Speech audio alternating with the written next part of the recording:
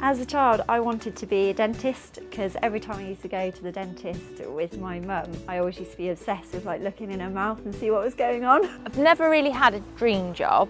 Um, my background is equestrian and horsey, so probably would have been to go into an equestrian eventing yard. As a child, my dream job was to be a professional footballer or Formula One racing driver. Um, sadly, that didn't come to light.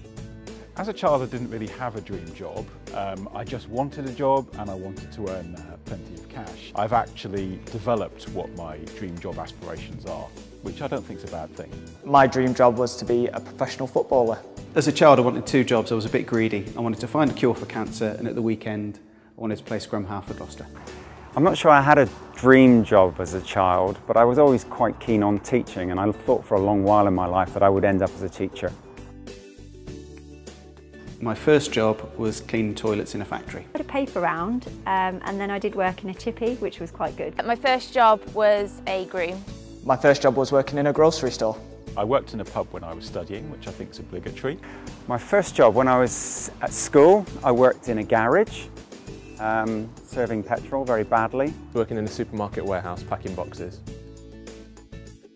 The most useful career advice I'd probably say is just take the time to consider your options and take a step back. Lead, not just to manage people, um, but also to be proactive in my role and to be passionate about anything that I put my mind to. To not let age get in the way of what you want to achieve. One is always be prepared to make a decision, um, which I hold true to now.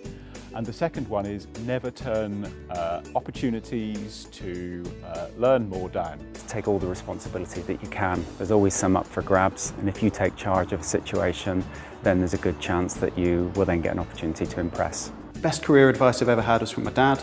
Uh, and he said just surround yourself with excellence. So when you run a team, recruit the best people you can, um, train them up and give them the freedom to succeed. Their success will be the success of the team and you can just bask in that. Watch the masses and do the opposite.